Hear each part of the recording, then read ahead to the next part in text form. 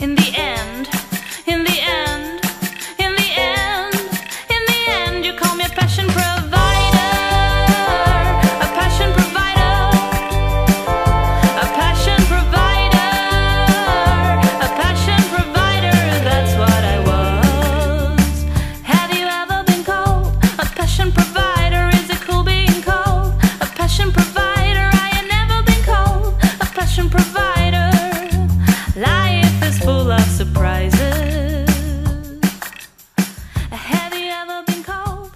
passion provider is it cool being cold?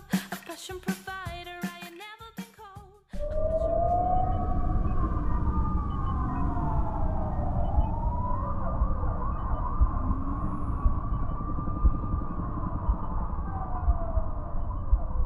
A.